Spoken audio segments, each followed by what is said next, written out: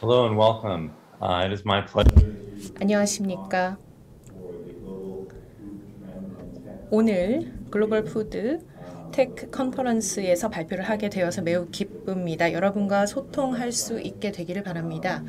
제 웹사이트와 질문 아, 웹사이트를 통해서 질문 등 부담 없이 연락을 해주시기를 바랍니다. 그런 의미에서 오늘 약으로서의 식품과 새로운 트렌드에 대해서 이야기해 보려고 합니다. 오늘 프레젠테이션을 보실 수 있도록 화면을 공유하는 것으로 시작을 해보도록 하겠습니다.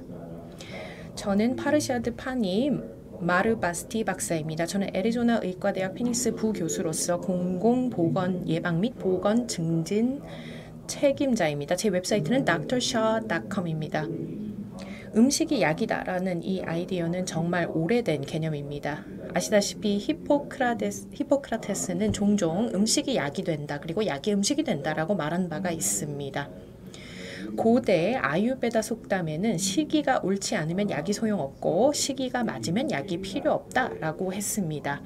이것이 천년 전의 고대 개념임을 생각할 때 매우 놀라운 일이 아닐 수 없습니다. 아시다시피 아시아 문화에서 민간 요법과 치유의 개념은 뜨겁고 차가운 성질과 같은 음식의 다른 성질에 관한 것입니다. 아유베다 의학에서는요 음식과 관련된 세 가지 도샤 또는 성격 유형의 개념이 있습니다. 유럽에서는 히포크라테스 그리스 의학을 참고하고요. 중동에서는 시나이와 페르시아 의학이 음식의 균형에 대해서 얘기를 합니다. 이 모든 것이 문화의 일부입니다.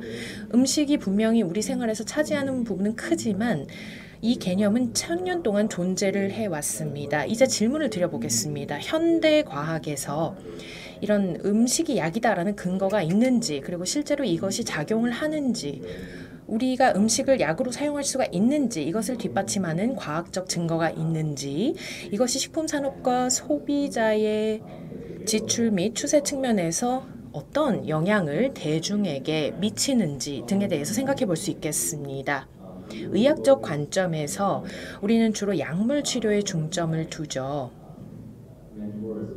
제 멘토 중에 한 분이 계신데 의사는 수술과 같은 약물 치료 혹은 교육 등의 하나를 선택할 수 있다고 했습니다. 그래서 음식을 약으로 생각하고 건강한 생활 방식과 운동을 생각했을 때 우리는 교육에 대해서 얘기를 하지만 의학에서 우리가 많이 하는 것은 medicate입니다. 예를 들어서 미국에서는 미국인의 최소한의 60%의 인구가 적어도 하나의 처방약을 복용하고 있고 이것은 세계 인구의 5% 미만이지만 전 세계 의약품의 34% 이상을 소비하고 있다는 말이 됩니다. 이 의학에 대한 서양 과학의 접근 방식의 관점에서 이 전통 의학이라는 것은 전 세계적으로 매우 보편적이고 전통적인 접근 방식은 실제로 그 약물을 중심에 두고 있습니다. 하지만 음식과 질병과 건강 사이에는 연관성이 있는 것은 분명합니다. 이것 때문에 소비자들이 이런 음식, 건강, 질병에 대해 훨씬 더 민감해하고 있고 특히 코로나19 대유행에 비춰봤을 때 뭐 조금 뒤에 말씀을 드리겠지만 그 이전에도 사실은 식품과 건강 그리고 식품과 질병의 발전 단 사이의 관계는 매우 분명했습니다. 뭐 그렇다면 우리 시대 주요 질병에 대해서 몇 가지 살펴볼까요? 암을 예를 들어 보겠습니다. 전체 암의 3분의 1이 잘못된 식단과 과체중 그리고 신체 활동 부족과 관련이 있습니다. 일부 유형의 암, 특히 직장암의 경우는 식이요법과 관련이 있습니다. 예를 들어서 직장암은요, 동물성 지방, 동물성 단백질, 가공육, 붉은 고기, 그리고 섬유질이 적고 야채, 과일이 적은 식단과 관련이 있습니다. 그리고 잘못된 식단은 폐, 식도, 위, 직장암, 전립선암 등과도 관련이 있습니다. 또 흥미로운 것은요. 지난 80년에서 100년 동안 식품 산업의 발전이 정말 많은 변화를 겪었다는 것입니다. 4, 50년 동안 가공식품으로 많이 전환이 이루어졌습니다. 이 영국의 의학 저널 British Medical Journal에 실린 연구에 따르면요.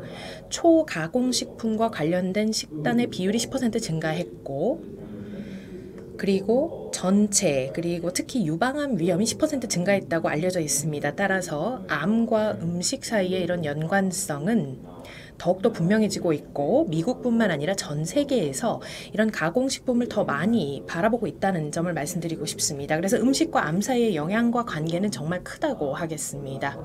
그렇다면 심장병은 어떨까요? 심장병은 전 세계적으로 사망 원인 1위입니다. 제 생각에 뭐 암하고 심장병이 거의 1, 2위를 항상 차지한다고 생각하는데요. 미국에서는 분명히 코로나와 같은 역할을 하고 있고 이 두 가지 만성 질환은 사실 실제로 그 코로나에 좋지 않은 그런 결과에 대한 큰 위험 요소로 작용합니다. 예를 들어서 어떤 데이터를 검토하는 기사가 있었는데요. 심장 대사 관련 사망의 무려 45% 이상이 실 제로는 어, 어떤 나트륨 과잉이라든지 견과류나 뭐 그 시드 같은 식이 요인이 최적이 아님으로 인해서 발견 발견되는 그런 문제들이었습니다. 이 견과류 등에는 집, 단백질과 지방 그리고 미량의 영양소 등의 훌륭한 공급원이 있습니다. 그렇다면 다른 모든 질병의 위험 요소를 고려할 때 위험 요소로서의 전반적인 식단은 어떨까요? 담배에 대해서 생각해 볼 수 있고요. 과체중, 그리고 신체 활동이 적은 상태, 알코올 등을 생각해 볼 수 있습니다. 고혈당 수치라든지 고콜레스테롤 수치라든지 이 모든 것들을 봤을 때 미 질병통제 예방센터 CDC에서는요, 1990년에서부터 2010년까지 미국의 보건 상태를 조사한 바가 있습니다. 그리고 알게 된 사실은요, 담배로 인한 흡연보다는 식이 위험 요소가 더 높다라는 것이었습니다. 1990년부터 2016년까지 이 연구를 계속했는데요. 식이로 인한 위험 요인은 여전히 조기 사망의 1위를 차지했다는 것입니다. 굉장히 큰 영향이라고 볼 수 있습니다. 전 세계적으로 과일을 적게 섭취하는 식이요법과 저지방 식이요법 등이 미치는 영향에 대해서 살펴보고 있는데요. 채소가 다 좋다고 생각하죠. 그리고 그것이 건강에 어떤 영향을 미치는지 이것이 각각의 세계의 다른 부분의 관점에서 분류가 되어 있습니다. 동아시아와 동남아시아, 사하라, 사막, 이남의 아프리카 그리고 다른 세계 모든 장소를 살펴봤을 때 이 다이어트의 영향, 시기의 영향은 분명히 전 세계적으로 큰 영향을 미친다는 것을 알 수 있습니다. 그리고 이 연구를 한번 볼까요? 식이 위험을 195개국에서 영향에 대해서 조사를 했습니다. 이것은 1990년에서 2017년 사이 연구인데요. 정말 훌륭한 데이터 포인트입니다. 왜냐하면 이 식단 개선이 잠재적으로 5분의 1의 사망을 예방할 수 있다는 것이 나타났기 때문입니다. 연구 결과에 따르면 연령과 성별 그리고 사회 인구학적 발달에 관계없이 이런 식이 위험은 사람들에게 영향을 미친다고 합니다. 그리고 특히 식이로 인한 사망의 50% 이상과 66% 이상의 장애 조정 수명 그리고 다른 예를 들어서 뭐 통곡물, 과일, 나트륨 이런 개별 식이 요인이 큰 영향을 미친다는 것이 나타났습니다. 그래서 통곡물의 섭취가 충분하지 않거나 과일을 충분히 섭취하지 않거나 나트륨이 너무 많은 경우가 위험하다는 것이고 기본적으로 식이요법에는 담배, 흡연 등을 포함한 어떤 위험보다도 더 많은 사망의 책임이 있다는 것을 알게 된 것입니다. 그래서 인간의 식이요법을 개선할 시급할 필요성을 이 연구가 강조하고 있습니다. 이것은 이제 아킬레스 건이 된 것입니다. 같은 연구에서 본 것이 또 흥미로운 게 하나 있는데요. 여기 맨 위에 사실 보시면 한국에 관련돼서 표 B에 대한 참조 지점 보실 수 있습니다. 다른 국가에 비해서 견과류, 과일 및 채소의 높은 그 이용을 보여주고 있고 표 C를 보시면 생선 을 많이 사용하고 있다. 그리고 더 건강한 이 생선들은 더 건강한 어떤 어, 지용성 어떤 그 오메가 3 등, 등을 지, 제공하고 있죠. 그리고 한국은 동물성 제품에 함유된 육류와 설탕을 많이 사용하고 있다. 그래서 보시면은요 여기 이 테이블에선 더 낮은 곳으로 가고 가기를 원하고 맨 위에 있기를 원하고 그리고 그런 의미에서 한국은 음식이 약이다라는 관점에서 정말 좋은 견과류, 과일, 채소 이 모든 재료를 구할 수 있어서 잘하고 있다고 생각합니다. 식품 산업이 각 국가의 생태계에서 널리 사용할 수 있는 견과류와 어, 과일 및 채소를 통합한 제품을 활용해서 실제로 개선하고 향상시킬 수 있는 좋은 기회라고 생각합니다. 여러분의 도시와 지역사회의 건강을 도울 수 있다라고 생각을 합니다.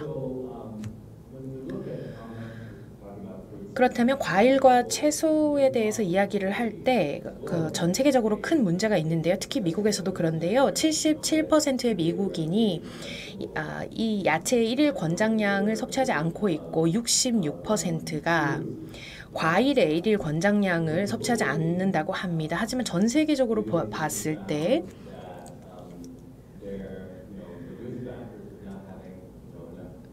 충분한 과일과 채소 그리고 건과 견과류 등을 섭취하지 않는다는 이런 위험 요소는 전 세계인의 사망에 큰 기여를 한다, 큰 영향을 미친다라고 볼 수 있습니다.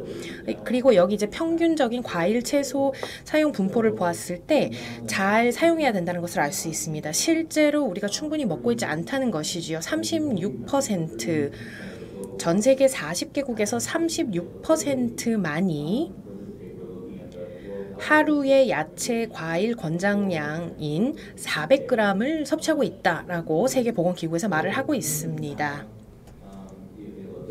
그래서 이러한 가능성을 높이기 위해서 사람들이 현재 충분히 섭취하지 않고 있다. 전 세계적으로 그렇다라는 것 점을 잘 알아야 이 가능성을 높일 수 있을 것입니다.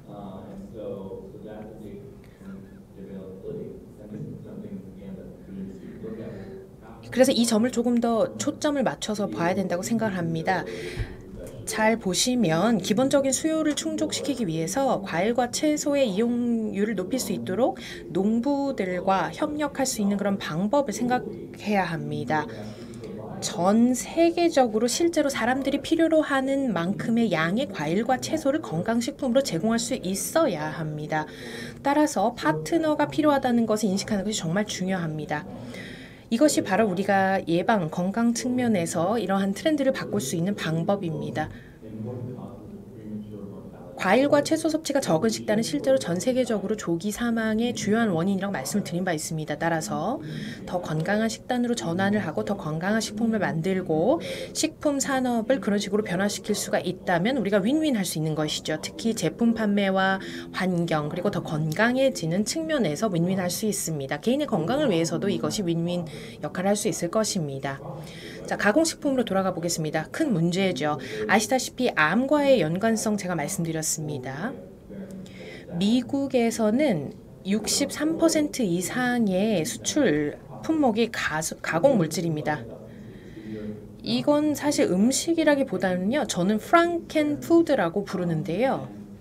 프랑켄슈타인 생각해 보시면 됩니다. 큰 실험과 비슷한데 어떤 그 식물 기반의 음식 은 굉장히 비율이 적습니다. 음식을 약으로 사용하고 싶다. 그렇다면 가공식품이 어떻게 여기에서 작은 그 비중을 차지해야 되는지를 알 수 있을 것입니다. 하지만 불행히도 전 세계적으로 수출되고 있는 그 미국식 표준 식단이 어떻게 보면 그 가공식품에 치중되어 있다고 볼 수 있습니다. 고도 불포화 식물성 기름인 어떤 나쁜 지방도 있고요. 고혈당, 부화 탄수화물, 정제된 설탕, 정제된 곡물, 첨가물들이 많습니다. 항염증성 그리고 항혈전성 오메가3 지방 등은 기본적으로 심장마비와 뇌졸중을 예방하고 관절통, 만성 통증에 도움이 되는 그런 염증을 낮추는 데도 도움이 됩니다. 그리고 면역력을 높이고 염증을 줄이는 항산화제가 풍부한 견과류와 씨앗 등을 생각해 볼 수가 있습니다. 이런 모든 구성 요소는요, 식품의 구성 요소는 실제 당뇨병, 심혈관 질환, 그리고 비만, 특히 일부가 암과 관련이 있는데요. 그럼 이것을 어떻게 전환시킬 수가 있을까요? 음식을 이용해서 질병을 예방하고 치료하고 역전시키는 그런 다양한 식단을 생각해 보자면 지중해식 식단이 가장 많이 연구가 됐습니다. 에, 아리조나 대학교 의과대학에서 저희가 하고 있는 일에서 조금 공유를 하고자 하는데요. 저희가 그 코로나 19와 우리 시대의 식이 관련 질병 사이의 관계 그리고 식품 산업의 동향 그리고 소비자들이 더 많은 비용을 준비할 준비가 되어 있다라는 것을 알게 되었고 그리고 어, 기꺼이 이런 상황에서 이런 변화를 위해서 우리가 할 수 있는 일에 대해 이야기를 하고 있다는 점 말씀드리고 싶습니다. 그래서 거기엔 다양한 많은 시기가 있습니다. 케톤 다이어트 그리고 채식주의 이 모든 측면 중에서 많은 연구를 보면요. 예를 들면 아, 키토제닉 어, 다이어트 식단은요. 간질 환자를 50% 60%까지 발작을 줄이는 것으로 나타났습니다. 특히 특정 암뿐만 아니라 어떤 자폐아의 스펙트럼 장애 그리고 신경학적 상태에 대해서 수행할 수 있는 역할을 살펴보는 그런 연구들도 있습니다. 그리고 간헐적 단식 많이들 하시죠. 그리고 격일 단식이라든지 어떤 조기 시간 시기 제한 등이 실제로 염증을 개선하고 면역력을 높이고 콜레스테롤을 감소시키고 에너지를 가질 수 있는 능력을 증가시키고 혈압을 낮추는 것으로 나타났습니다. 이런 식으로 식단이 실제 진화를 했습니다. 가장 의학적으로 성공적인 다이어트 중 하나가 말씀드렸다시피 지중해식 다이어트와 이것의 변형입니다. 제 생각에 아시아식 변형이 매우 비슷하다고 보고 있습니다. 하지만 실제로 더 많은 과일과 채소를 사용하고 더 많은 통곡물 그리고 더 많은 생선을 사용하는 식단입니다.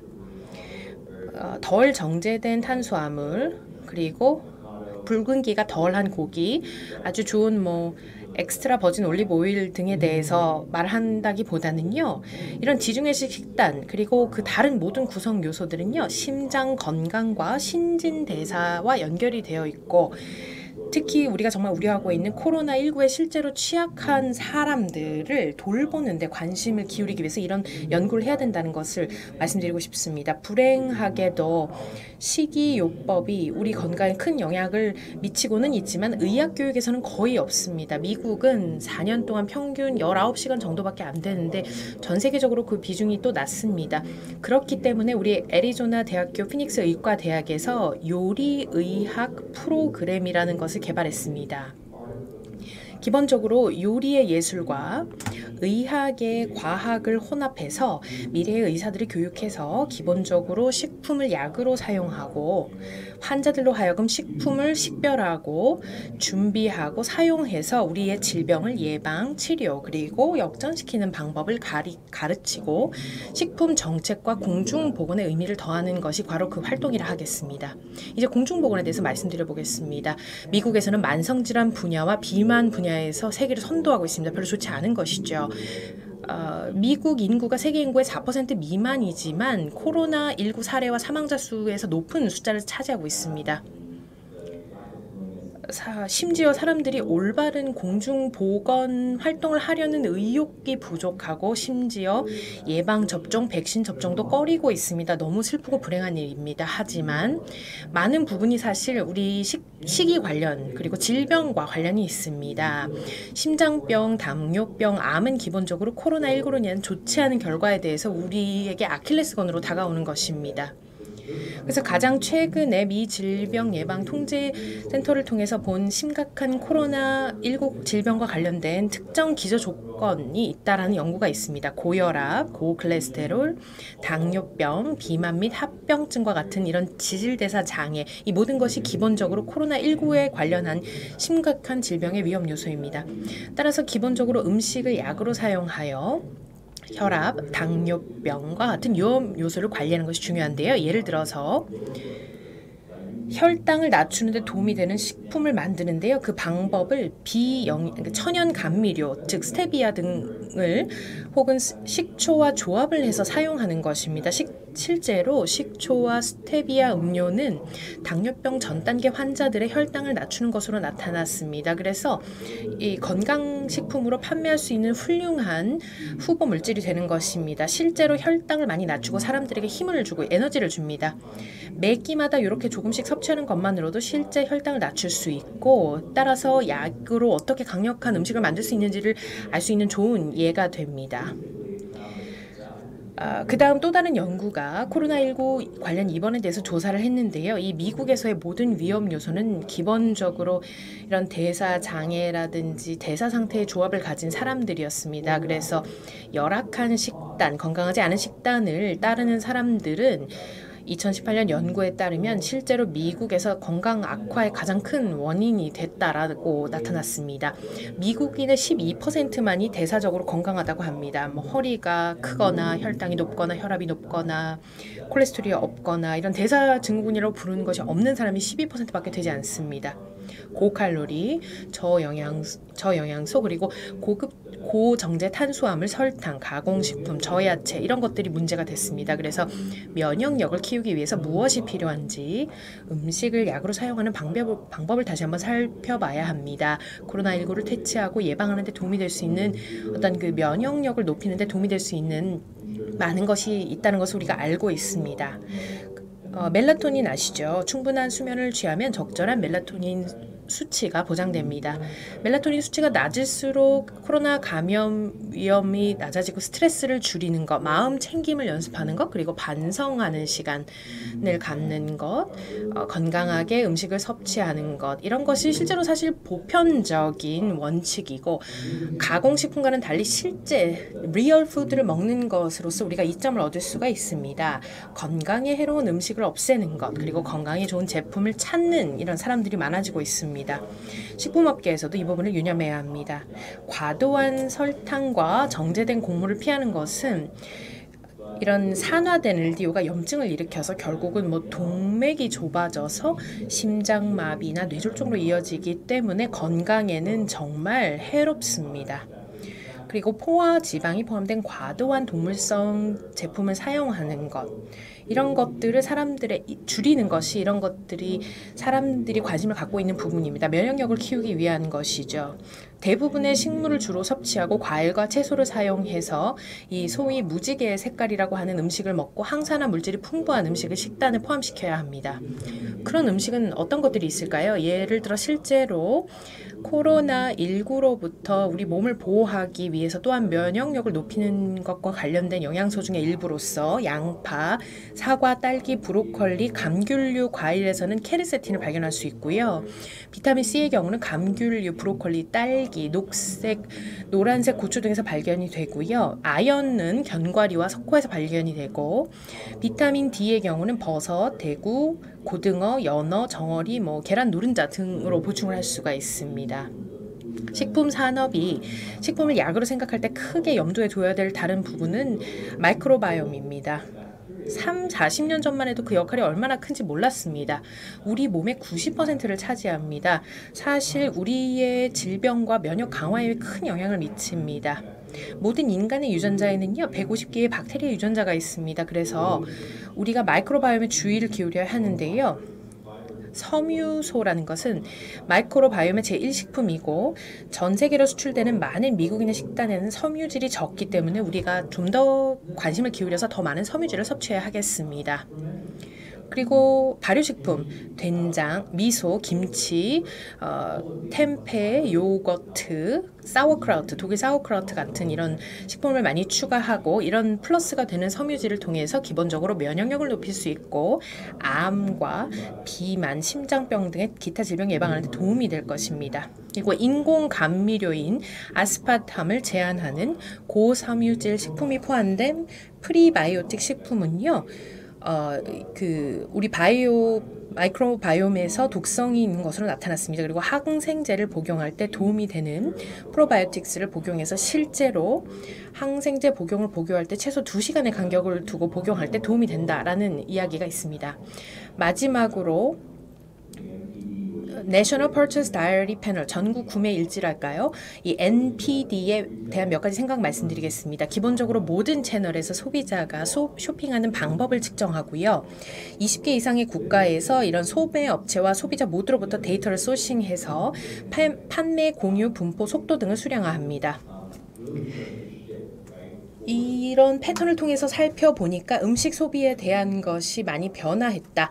기본적으로 코로나나 전염병 이런 그 관련해서 질병을 예방하고 건강한 음식을 통해서 바이러스로부터 감염을 예방하고자 하는 그런 방향으로 움직이고 있다라고 하고 있습니다. 모링가, 강화, 마누카, 꿀, 엘더베리 시럽, 콤부차 등의 이런 많은 섭취가 있었고 건강상의 이점과 어떤 그 면역 강화 항염증제를 가지고 있다고 알려져 있고 이런 음식들이 약으로 사용하고 있고 이런 추세로 봤을 때 정말 사람들이 음식을 약으로 사용한다는 것이 흥미로웠습니다.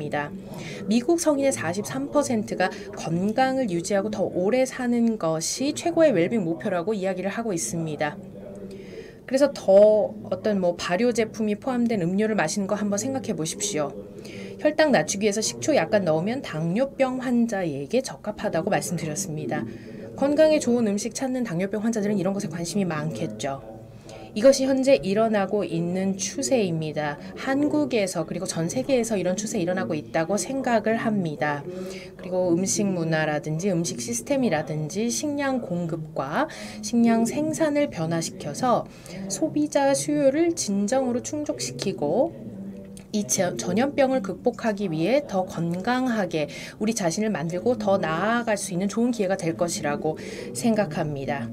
이 NPD의 추세를 봤을 때 제조업체와 마케팅 담당자가 앞으로 중요하게 생각해야 되는 것은 어, 소비자 식단에서 어떤 것이 장기적으로 남을 것인지 그렇지 않을 것인지를 이해하는 것입니다.